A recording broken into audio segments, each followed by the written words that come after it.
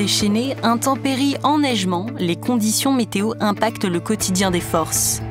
Pour déjouer ces phénomènes, les armées ont un allié de taille, la météorologie. Une science complexe qui se révèle essentielle à la conduite des missions, un enjeu stratégique majeur. Sur le terrain et en opération, les 300 météorologues militaires réalisent quotidiennement les prévisions nécessaires aux forces. Analyses satellites et calculs atmosphériques sont effectués en permanence pour assurer la sécurité de tous et le bon déroulé de la mission. Sur Terre, en mer ou dans les airs, les météorologues représentent un atout de taille pour les forces. Le journal de la Défense vous amène à la rencontre de ceux qui font la pluie et le beau temps dans nos armées.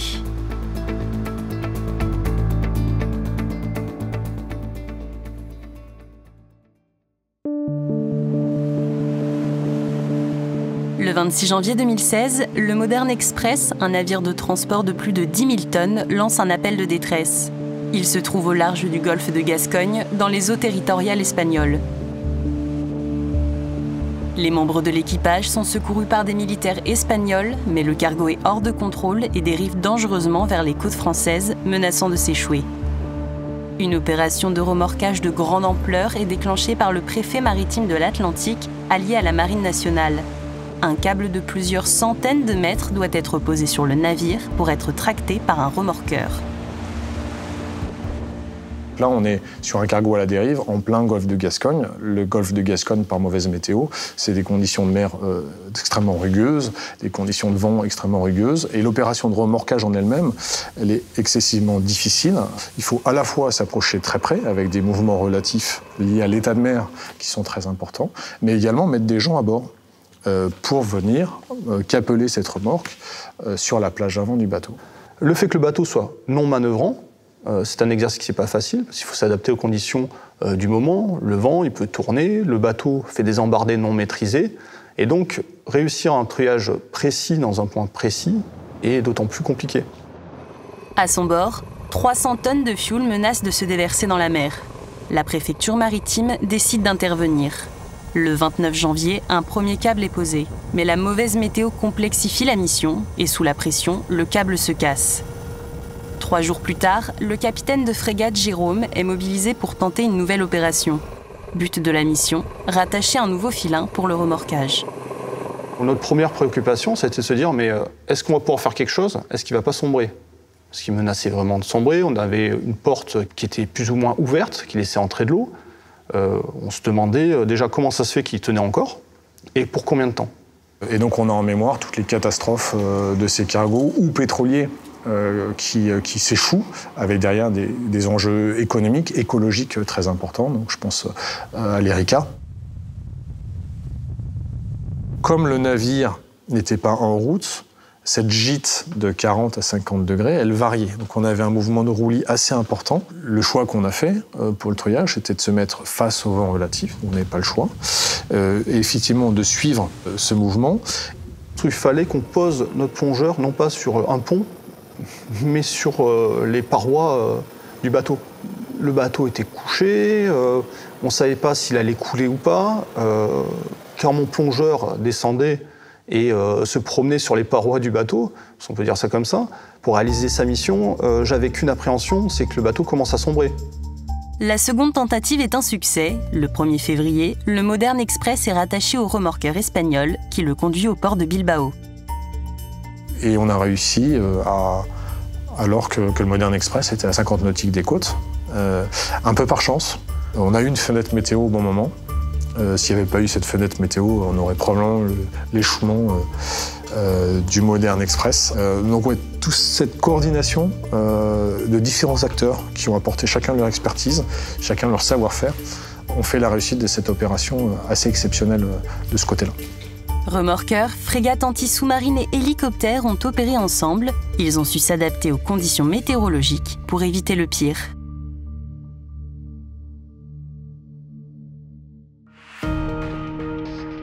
Une collaboration entre forces civiles et militaires également présente à Toulouse, où le site de Météo France accueille le 6MF, Centre interarmé de soutien météo-océanographique des forces.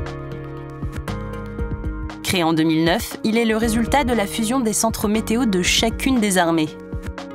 24 heures sur 24 et 365 jours par an, il fournit des informations météo au profit des opérations menées partout dans le monde. Le centre est composé de trois pôles. Donc le pôle principal qui assure la mission principale, qui est le pôle opération, euh, avec la salle opération qui est armée H24 par du personnel des trois armées et un ingénieur de Météo France. Euh, ensuite, nous avons un pôle développement expertise qui suit les grands programmes euh, du domaine et qui développe aussi certains outils spécifiques à l'utilisation des prévisionnistes des armées. Et enfin, nous avons le pôle formation, qui est notre deuxième grande mission ici. Nous formons les prévisionnistes et les prévisionnistes océanographes des trois armées euh, pendant 18 mois de formation initiale.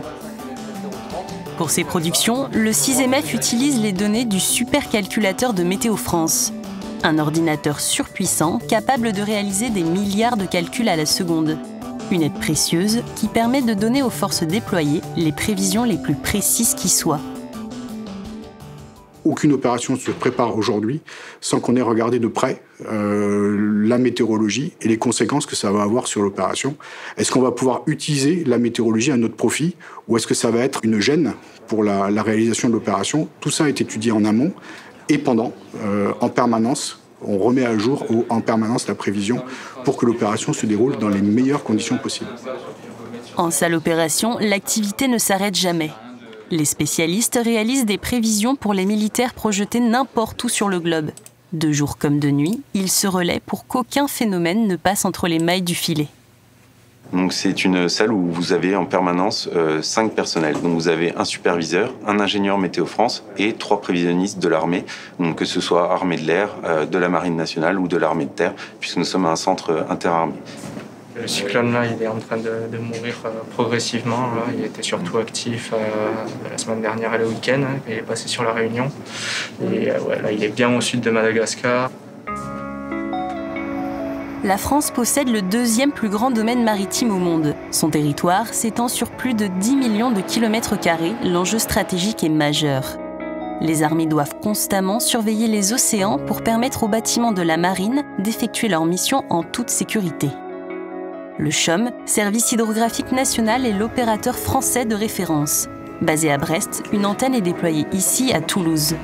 Nous, on travaille sur une des missions du CHUM qui est le soutien à la défense et euh, notamment le soutien à la marine nationale en fournissant au quotidien de manière opérationnelle des prévisions euh, océanographiques donc euh, au profit des bâtiments de surface et des sous-marins. Le METOC, en plus d'être météorologue, il est océanographe, c'est-à-dire qu'il a une connaissance du domaine maritime et il est capable d'expertiser euh, tous, les phénomènes qui auront lieu soit à la surface, soit sur toute la colonne d'eau, y compris euh, les états de mer. Mais ça va euh, des courants marins jusqu'aux évolutions des caractéristiques des masses d'eau, la température, la salinité, la célérité, qui ont tout un impact à un moment ou à un autre sur les différentes luttes que peut mener la marine nationale. Expert en météorologie et océanographie, la France fait partie des nations les plus performantes. Un savoir-faire transmis à l'ENM, École nationale de météorologie. Une formation exigeante dispensée sur le site de Météo France où se côtoient civils et militaires. La même heure assemblée complet à vos ordres, Major. Pendant 18 mois, les jeunes militaires rejoignent les bancs de l'école. Ils bénéficient des mêmes instructions que leurs camarades civils, seule différence, des cours accès météorologie militaire et un semestre consacré aux phénomènes météo de leur arme d'appartenance. Au total, 250 élèves civils et militaires sont formés ici chaque année. Donc du coup, euh, bonne condition. euh, Combien le brouillard? Le brouillard, on avait jusqu'à 100 mètres de visibilité minimum. Après, ça, ça a évolué donc euh, euh, avec une visibilité qui a augmenté au fur et à mesure des échéances, jusqu'à 7h50. Ok. L'avantage pour les élèves militaires de participer à cette formation est d'avoir accès à la fois aux enseignements des spécialistes de Météo France, que ce soit des enseignants de l'ENM ou d'autres services qui viennent intervenir dans les formations, des enseignants qui peuvent avoir une expérience amont dans des services de prévision et des services de- opérationnels de Météo France et qui vont pouvoir transmettre tout ce qu'ils ont appris de leur expérience aux élèves militaires. Et alors, vous vous souvenez le principe de cet instrument? Oui. Donc, c'est Biomètre. Entre pratique et théorie, les élèves militaires se mettent en conditions réelles pour apprendre toutes les ficelles du métier. Mathématiques, physique de l'atmosphère et analyse prévision, ces météorologues en devenir suivent une formation très dense. Nous avons appareillé euh, mardi de Beyrouth et nous serons euh, samedi euh, en Israël, à Haïfa. Donc actuellement à 9Z, nous avons présence de cumulonimbus avec une mer qui est agitée due à une houle de secteur ouest. C'est une formation de un an et demi pendant trois semestres, avec tout d'abord un semestre avec des matières théoriques. Ensuite, pendant le deuxième semestre, c'est plutôt un semestre pratique où on va par exemple aller faire de l'observation, comme en tour d'observation et euh, également, euh, on est plus euh, du côté militaire, on, fait, on commence à faire les briefings. Et après, en troisième semestre, c'est là qu'on attaque plutôt la partie cœur de métier, donc propre à chaque armée. Donc pour l'armée de terre et l'armée de l'air, c'est plus tout ce qui est météo aéronautique surtout, alors que pour la marine, on va avoir donc déjà météo aéronautique et également euh, tout ce qui est euh, lutte sous-marine. Et on fait également euh, toutes les armées ce qu'on appelle la détection électromagnétique. À la fin de leur cursus, les jeunes militaires obtiennent un diplôme reconnu par l'Organisation mondiale de la météorologie. Une récompense pour ces élèves qui s'apprêtent à faire partie d'une spécialité qui a marqué l'histoire et représente aujourd'hui un maillon essentiel des forces. Quand on regarde un peu l'histoire, on se rend compte que le, fait météorologique, il, est apparu plusieurs fois euh, comme assez important dans, un certain nombre de, faits, euh, des batailles navales ou des batailles terrestres. Mais le fait marquant pour la France, c'est euh, pendant la guerre de Crimée, où 41 bâtiments de la marine ont coulé suite à une tempête qui a ravagé toute l'Europe de l'Ouest. cette tempête, ils n'en avaient pas été avertis, et donc n'ont pas pu se préparer à son impact, ce qui a entraîné ce naufrage massif. Suite à ce drame survenu en 1854, les armées réalisent l'importance de la prise en compte de la météo dans leurs opérations. Des stations météo sont alors installées un peu partout en Europe et la marine oblige ses équipages à relever toutes les conditions rencontrées en mer dans un carnet de bord. Le premier euh, service météorologique militaire des armées a été créé pendant la Première Guerre mondiale en 1916 avec la montée en puissance de l'aviation donc on est héritier aujourd'hui de ce euh, service militaire de météorologie qui a vécu euh, sous plusieurs formes, avec une euh, forte montée en puissance pendant la Deuxième Guerre mondiale. On a parlé de guerre météorologique, en particulier l'exemple le plus marquant, c'est le, débarquement de Normandie le 6 juin 1944, où le fait météo a été décortiqué pour donner un avantage aux Alliés lors de ce débarquement. Initialement prévu le 5 juin, les prévisionnistes demandent le report de l'opération. En cause, une perturbation annoncée au large des côtes françaises. Grâce à une fenêtre météo favorable, le débarquement est finalement lancé dans la nuit du 5 au 6 juin.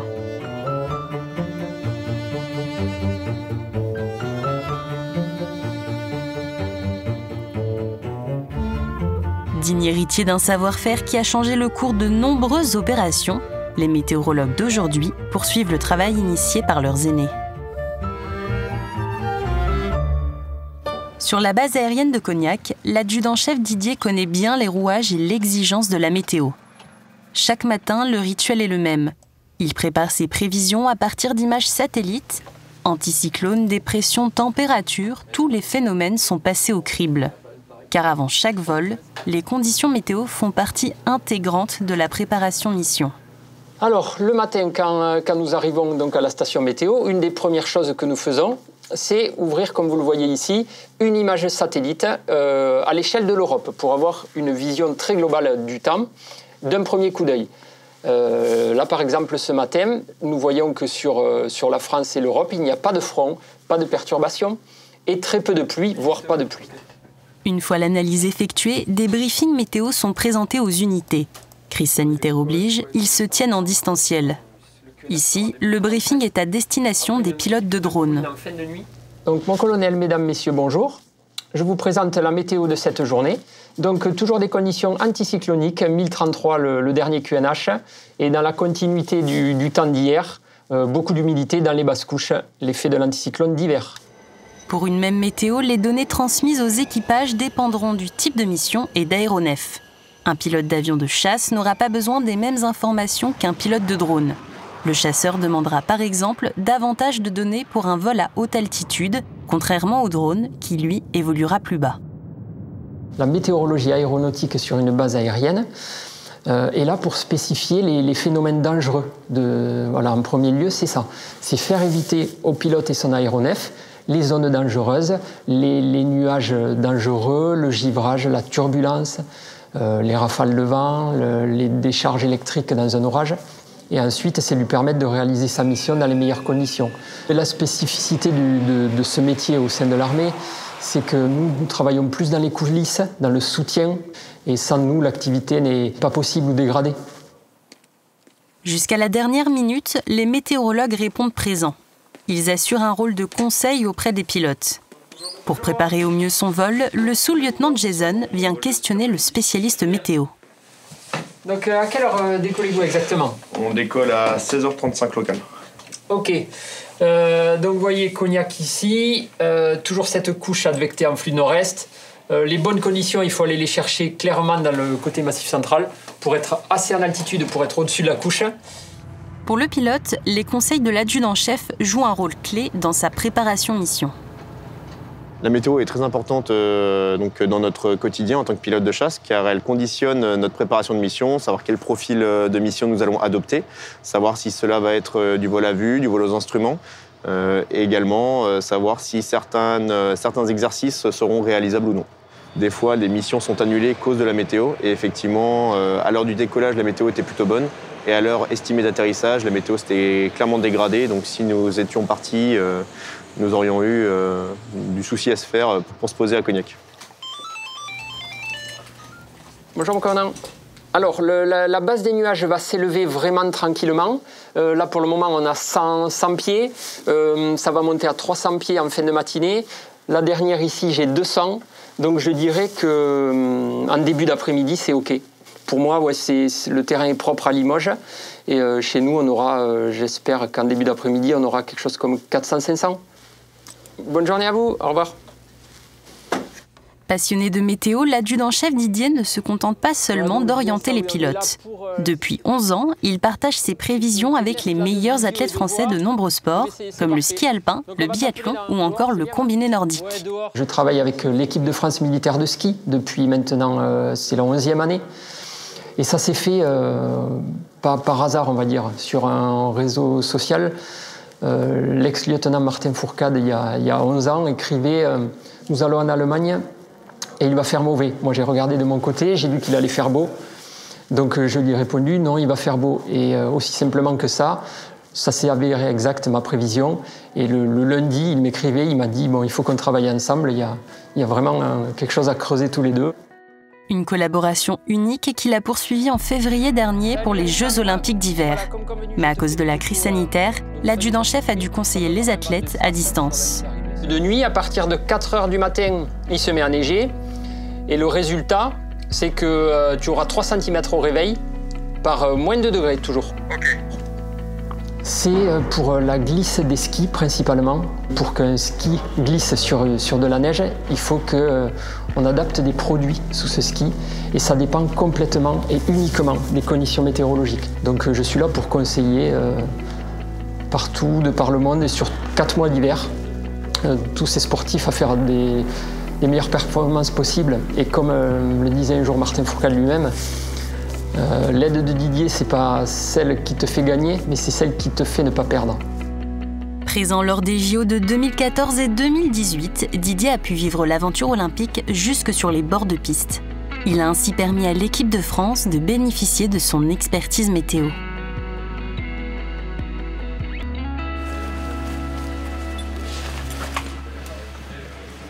À l'image des athlètes, les groupements commando parachutistes n'ont qu'un seul objectif, mener à bien la mission. N'importe où et n'importe quand, les GCP sont opérationnels. Ils ont appris à composer avec la météo, voire même en faire un allié de taille. les pilotes les pilotes ils ont la bonne habitude de décrocher son abdominale et de la raccrocher pour éviter qu'elle soit brillée. Parce que si on vient sur le côté, se rend compte que la sangle abdominale, elle va jusque loin derrière. Donc en fait, elle peut se vriller ici sans demi-vrille sans faire attention. Avant chaque saut, les conditions sont évaluées pour aborder l'opération au mieux. Un bulletin complet et détaillé est transmis par le 6MF de Toulouse. Sur place, un commando endosse le rôle de leader. En reprenant toutes les informations données, comme la force et la direction du vent, il réalise des calculs qui déterminent si les équipes pourront sauter. Mais encore une fois, là, ce que tu as mis, c'est de la sécu. Il n'est pas censé arriver jusque-là. Il devrait peut-être sortir un petit peu avant, lui. Tu calcules l'intervalle plus de la sécu derrière. Un état des lieux de la situation est présenté à l'adjudant Bastien, instructeur de saut. Là, ce qu'on vient de faire, c'est que le leader a fait ses calculs en fonction de son message météo. Et du coup, vient le présenter là euh, à l'INSOC, l'instructeur euh, SOCR, pour valider ou pas en parle de partie de sécurité et ensuite pour pouvoir aider à mieux adapter l'infiltration sous voile en fonction des calculs, en fonction des contraintes qu'on a à partir de là. En plus des briefs météo, les commandos sont à l'affût et scrutent le ciel en permanence. Dès que les conditions le permettent, un vol est déclenché. Ce matin, on doit avoir une grosse couche nuageuse qui arrivée euh, sur la zone. Et là, on voit à l'heure actuelle que cette couche nuageuse, en fait, avec le fort vent en l'air, ne tient pas forcément euh, face à nous et se délite peut-être un petit peu. Et donc, du coup, peut-être euh, favorable à nos infiltrations sous voile, notre entraînement et au saut notamment. Et là, on part pour rapidement embarquer dans, dans une demi-heure. On est dans la machine pour les premiers décos et on enchaîne six machines.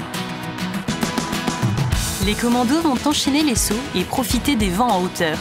Une fois en l'air, la température chute considérablement et frôle les moins 25 degrés. Objectif du jour, réaliser des infiltrations sous voile. Cette technique nécessite une grande précision. Lâchés à une dizaine de kilomètres d'un endroit donné, les commandos doivent utiliser les vents et les courants pour se porter jusqu'au point d'impact. Un exercice périlleux qu'ils seront amenés à reproduire en opération extérieure.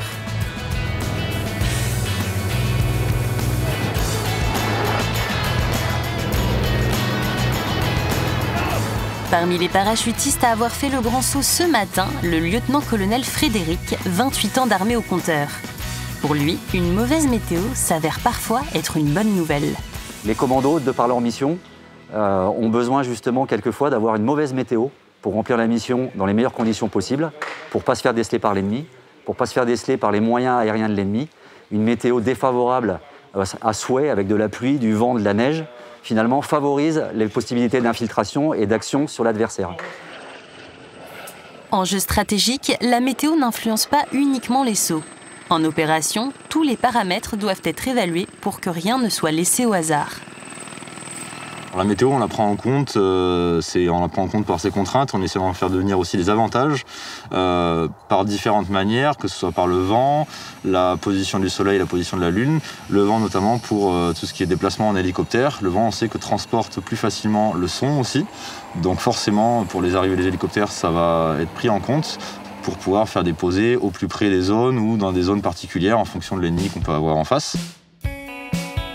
Professionnels aguerris, les commandos parachutistes font de cette contrainte un véritable atout. De jour comme de nuit, et qu'importe les conditions, ils s'adaptent pour mener à bien la mission. Après neuf semaines d'entraînement intensif, ces GCP mettront bientôt les voiles, direction le théâtre d'opération.